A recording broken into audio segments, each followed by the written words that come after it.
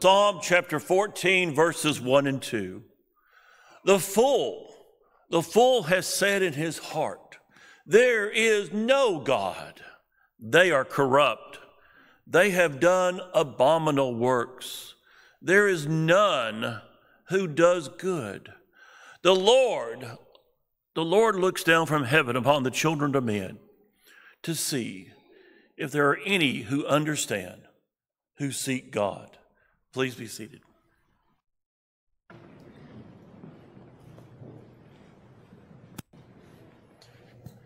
Good morning. If uh, you are visiting with us and you've gotten one of those attendance packets there, inside of that should have been an attendance card. If you'll pass that toward one of the aisles at this time, we've got some gentlemen who'll come down and pick those things up. We'd like to have a record of your attendance, and we are Extremely grateful that you are here with us today. We're thankful uh, that we have the opportunity to come together as a family of God and to worship our God together. Now, I'm going to be just as honest with you as I can. I don't know how many years of our marriage at uh, Brandy and I have spent at a baseball and or softball park. I don't know how many games I've watched. I don't know how much time I guess would be not technically wasted, but recre- uh, recreational time there. And I still have no idea how a person would get a slugging percentage or what that means. I know when you look at it on the box score, you go, oh, yeah, that's a, that's a big thing. I don't know what that means. I just look at it and understand that that's a, that's a, a good thing. You know, many people who we walk by and who we talk to every day would say the same thing about God. They, they, they know the Word. And even if you were to say, Who is God to them? and they were say, The God of the Bible, you could come back with, well, which one? More than 2,000 were found in Egypt. Babylon had one for every day of the week. You could talk about Molech, you could talk about Dagon, you could talk about Baal. Who, which one? Which God? Oh, you know, the God of the Bible. Well, they're all in there. who is the real God? Over the next few weeks, what we want to study here is who is God, who is Jesus, who is the Holy Spirit, and here's the kicker. I want you to mark on your calendar the night that will be three weeks from now, because that one's going to be how do they all work together? So don't miss out. When you and I look at the question, who is God, uh, we got to ask which one as we start out. Well, we want to look at the God of the Bible. Well, once again, there are plenty of those. Let's look at the God who wrote the Bible. Let's look at the God who created all of those things, the one that we serve from the Bible, the one that's found mentioned twice in three verses at the very outset of the uh, book of Genesis. In the beginning, God created the heavens and the earth, and you'll read that the earth, the, the Spirit moved across the face of the earth, and God said, right there within those few words, you have God mentioned in, in his three parts twice. Matter of fact, the very first word in the beginning, God, be the third word in the Hebrew language, the fourth word in the English language. That word Elohim, H I M, as you study through those Hebrew words, is a pluralized word, yes, but it's not just a pluralized word. The H I M deals with a plural of three. That's all it ever deals with. A plural of three. Imagine that. He mentions God Himself there. And then he mentions the Spirit individually. He mentions God the Father individually. And then he mentions that God said that, that one who will become, according to John 14 or 1 in verse number 14, the one that will become Jesus the Christ. You want to see who is God? let him speak for himself. When, when God speaks of himself, he speaks of himself as being great, Deuteronomy chapter 5, and being good, loving, being holy, being perfect, being merciful, being invisible, glorious, just, gracious, righteous. Are y'all writing all those down?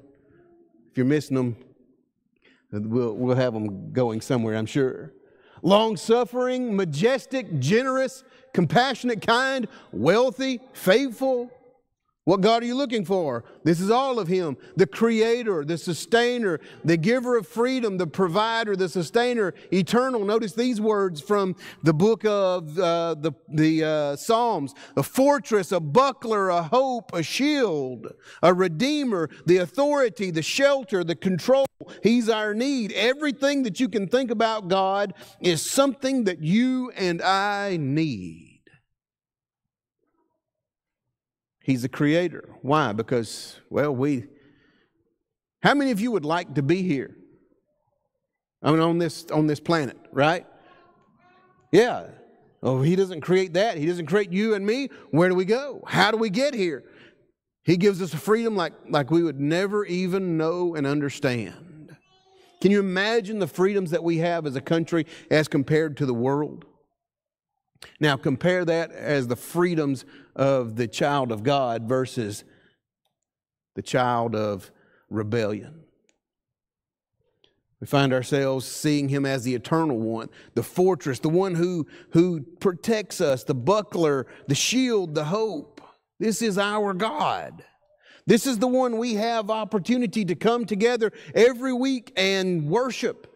This is the one who has given us, given us the ability as his children to stand before his very throne. And not only just stand there, but we also have the ability to pour out of ourself all of our worries and distress, all of our cares, all of our concerns, all of our hopes and wishes and needs. And he listens to all of those. And he takes all of those into consideration. This is the God that writes the Bible. This is not just any God of the Bible. This is not just any God found around. This is the God. His name, his name YHWH, anglicized from the Hebrew, is what's known as the Tetragrammaton. Uh, you can pronounce it Yahweh or Yahweh or however you think maybe the uh, vowels go in there. His formalized name means I am that I am. You remember that in Exodus chapter 3? where Moses would say, Who am I supposed to say sent me? And he said, You say the I am sent you. The I am what? I am the bread of life? Sure is. I am the one who supplies needs? Sure is. The I am, that one, the, the one who supplies everything that we need. Genesis cha- or Exodus chapter 3 and verse number 14, God here is mentioned as himself as not a sentence fragment, but a fill in the blank. What do you need? Hmm, as you're looking at your life and you're thinking about God right now, what do you need? Because that's what He is. Notice this. Today, as we look at God uh, in the Bible. We're going to study him from Genesis chapter 3, verses 1 through 15, and verse number 21. And we're going to look at him as a planner. We could look at him as a father, we could look at him as a shield or a buckler, but let's look at him today as the planner. When you and I start in Genesis chapter number 3, verses 1 through 15, we find a very interesting uh, dilemma that's found in Genesis 3. We, we look at that and we automatically know the, that word and those numbers, and we say, all right, this is where sin is introduced. It is. And as we normally look at that, we, we start to maybe assign where blame should go and say, well, it was Adam's fault, or well, it was Eve's fault, or, or well, it was Satan's fault. And we look at that particular account and we, we try to break down the side of Adam, we try to break down the side of Eve, we try to see why the, the serpent would do such things. And many times, as we look at Genesis chapter 3, the side that we miss is God. We look at everyone who's involved, really, with the exception of God. Notice what happens. Now we're going to, to go all the way back to Genesis chapter 1 in order to pick up Genesis chapter 3. So God says, Let there be light, there is. He says, Let all these things happen, day 1 through 6, and all the creation happens. Now we're up to speed, right? Shake your head this way. All right. Hey, are y'all awake today? Okay. You look like you weren't. When you and I pick up to speed with Genesis chapter 1 and 2, and we see God is the creator and sustainer of all of those things, when it gets to Genesis chapter 3 and they're hanging out around that tree, who provided that? Who provided the fruit from that tree? Who provided the law in that, uh, in that particular chapter? Well, the law is provided by God, the fruit's provided by God, the, the, uh, the garden there is provided by God, the life of Adam and Eve provided there by God. So it makes us wonder when we look at that particular chapter why did they listen to that serpent so intently? If God so far has provided every single thing for them, He's not skipped a beat. Why did they, why did they listen so intently to Him? I don't think it was because of any kind of authority. Yeah, I think it was because they liked what He was saying. You don't have to do this, you don't have to do that. You can become like God. And so in Genesis chapter 3, we see the very downfall of man due to a sinful choice. Let's look at first here in the garden. God provides for Adam and Eve, He provides the physical for them. He provides them a house, a house, a, a garden. What if uh, your parent, your, your father, provided for you and your in the very outset of your marriage a hundred acre garden area that was the, the, the grass was just like carpet. All of the trees were already there and producing, and all you had to do was just go and live on that land. Would that be all right? Yeah. Well, I don't know how many acres we're looking at with the Garden of Eden but it provides every single thing that man would ever need. He gives him every single advantage to live on this side of eternity, to include the tree of life, the ability to live with him forever. You'll recall toward the end of chapter 3 that tree's taken out of there, but now right now in the in this physical state adam and eve have access to it. They have a great garden set in front of them and they have a job. God not only provides them a house he provides them a job. Imagine that. What do you what, what job would you like to have? I need you to take care of the garden. Just keep it going as it normally would.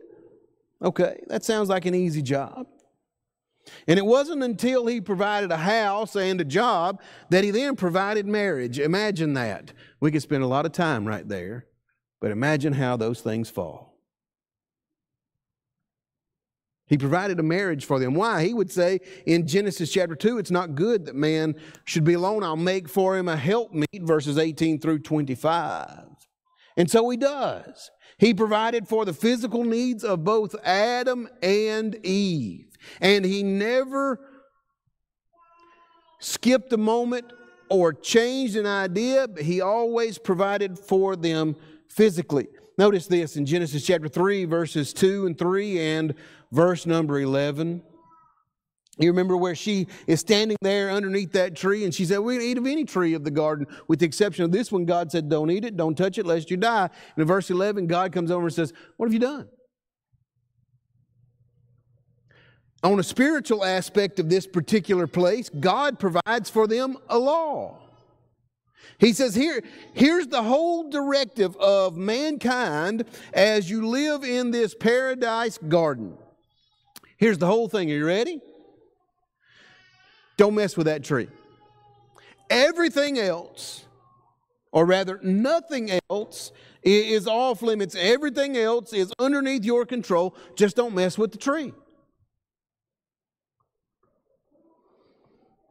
And why is it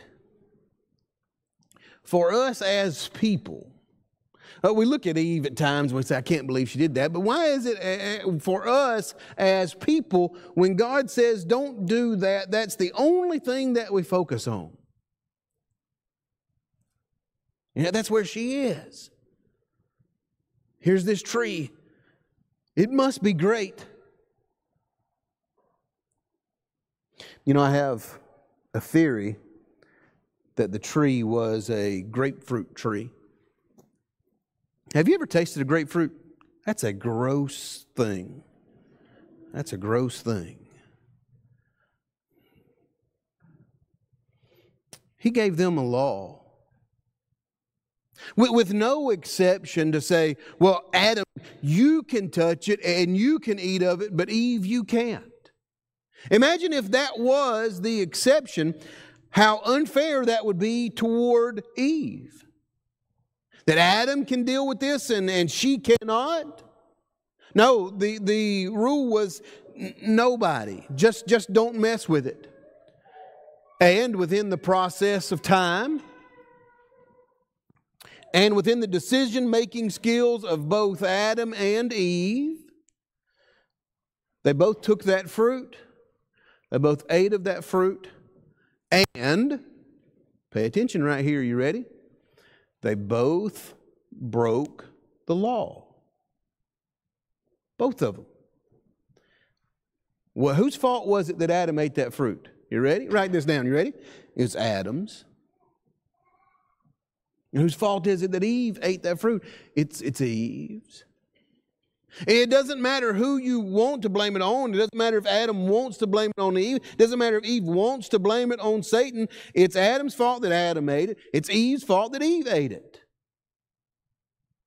And because there is a law broken, there must be amends made. And how does that happen? Hmm. Well, if the transgression of the law provides death for the transgressor. Well, then, within one fell swoop, humanity should be wiped out. Hmm. Let's see if we can go a little further. Notice this with God. With God, the, the following after the rule, the following after the law, means mankind can be righteous. Following after what he says, being right. That's the root word of righteous, right.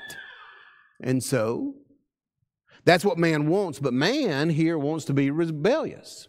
So if a law is broken, a spiritual law is broken, and the physical is given to them, what's going to happen to them eternally? Let's look at verse number 21 and verse number 15 first.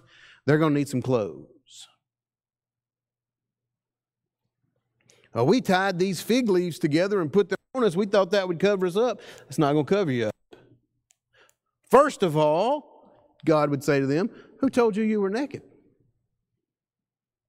And then right behind that is, Did you eat that fruit? Now, as God asks all of those questions we see in Genesis chapter 3, He already knew all the answers to them. He already had all of the information. So why is he asking those questions? Sometimes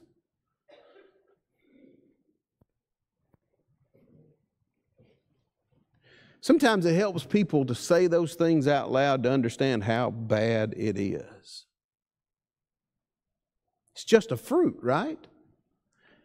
Ladies and gentlemen, if you write down things, write this down and commit this to memory and keep it for as long as you live and teach it to everyone you see in regards to Genesis chapter 3. Are you ready?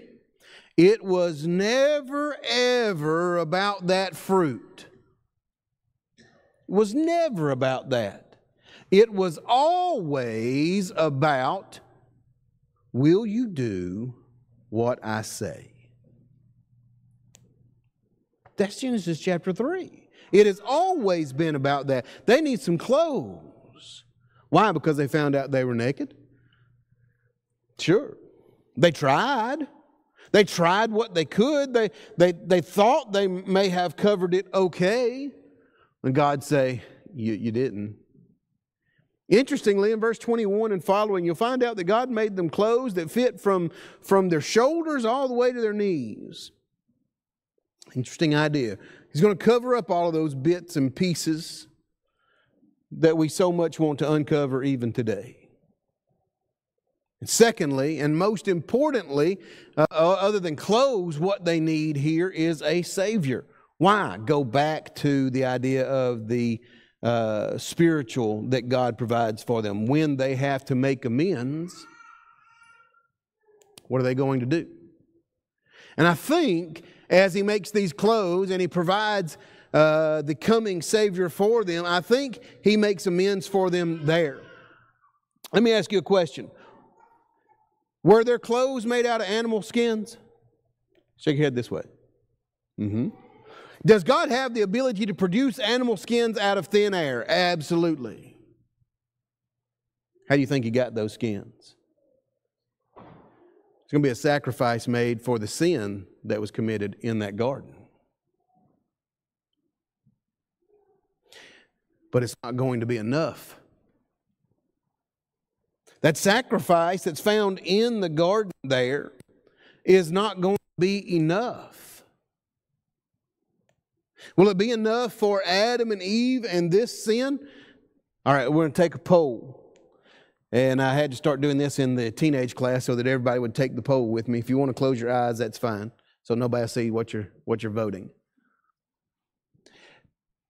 Does the sacrifice that's made in the garden cover the sin in the garden. Hmm. Hebrews 10, verse 4 For it's not possible for the blood of bulls and goats to take away the sin of man.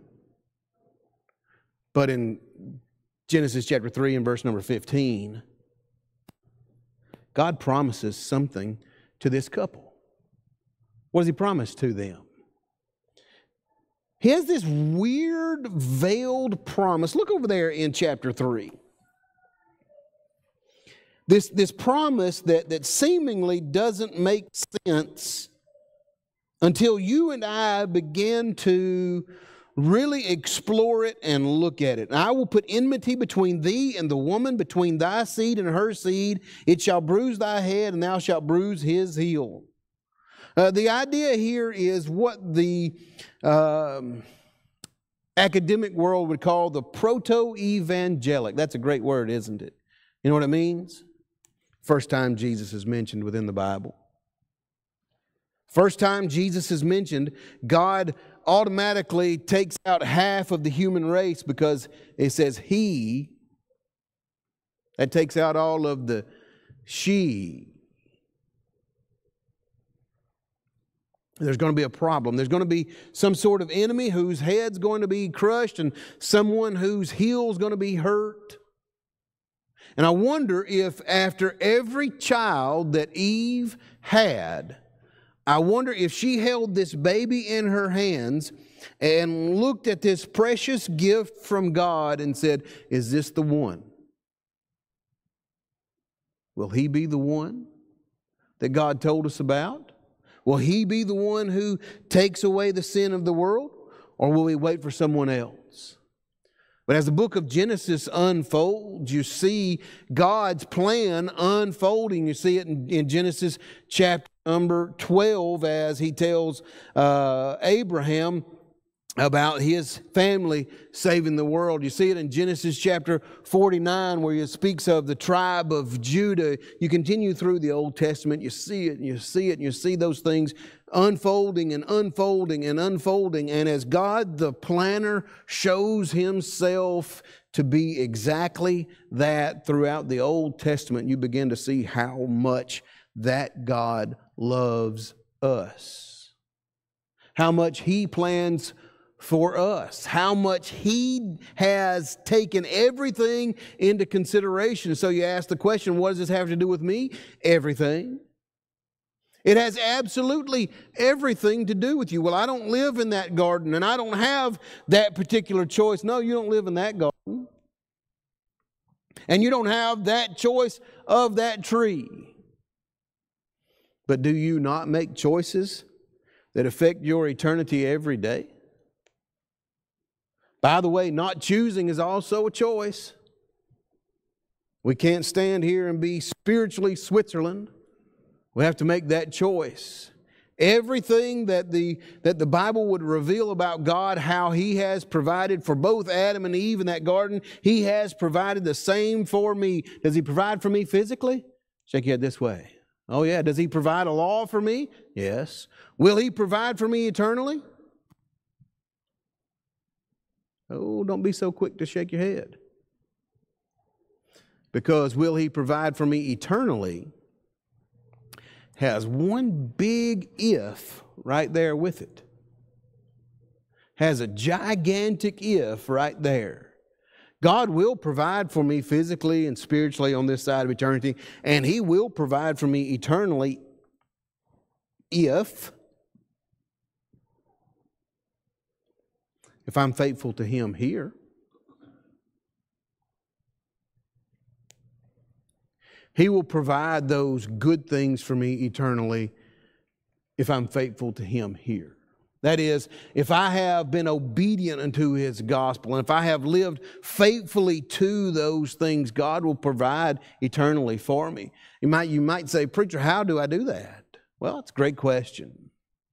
Uh, it's not enough to hear what God has to say, even, even though that's part of it. And it's not enough to uh, repent of your sin, Luke 13, 3. It's not enough to confess that Jesus is the Christ, Matthew 10, 32. It's not even enough to be baptized, Mark 16 and verse 16. That's, it's not enough just to do those things. Matter of fact, it's not enough to do just any one of those things. But if you do all of those things together, hearing Him, believing those things, repenting of your sin, confessing that Jesus is the Christ, and being baptized in water, you have accessed God's plan of salvation. You have become part of His family. He takes your needs upon Him. He does have a hard requirement. The hard requirement God has is this when, when you decide to become his child and be baptized for the remission of your sins, completing all of those other things before, you make a vow to him. You make a, a promise to him. You make a, a, a, an eternal vow to him, and that vow is that you will be his servant throughout this life and into eternity. And that's the hard part. And see, the hard part of that is this. Every day when I wake up, I still get to choose what I'm going to do today. So, yesterday I may have chosen to be his servant. Well, what if I don't choose that today? The hard part is me. Will you follow the things that you have already promised God? Or is it, is it, is it not that serious?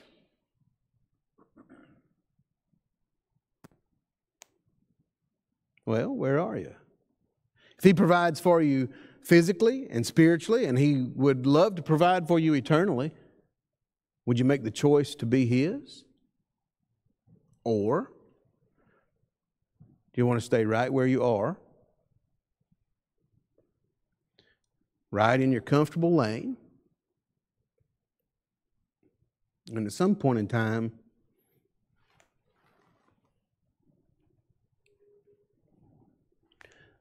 believe the lie you're trying to tell yourself that everything's going to be okay.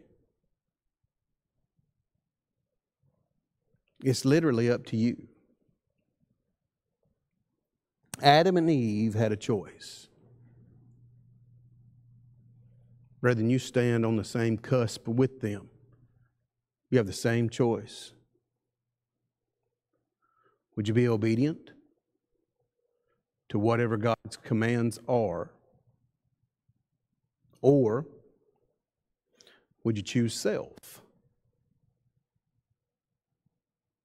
Now, in a moment, we're going to stand and sing a song to encourage anyone who would like to put on Christ in baptism. We're going to stand and sing a song for anyone who may have not been living the way they should, who wants to come back home to the Father. That'd be great. But as we stand and sing this song, who's that? That's, that's Clayton going to lead that song. As we stand and sing this song here, just in a moment, here's what I need you to think about. What will your choice be eternally? And make that choice now while we stand and while we sing.